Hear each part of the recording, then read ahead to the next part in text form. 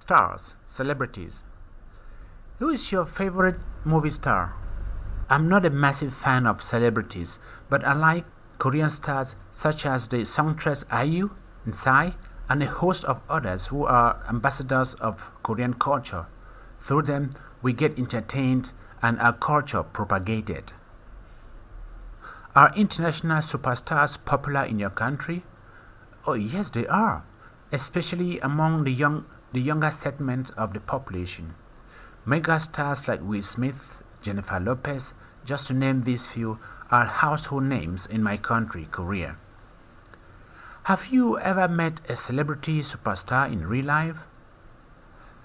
As of the moment, no, I haven't. I haven't had the opportunity to meet any celebrity face to face.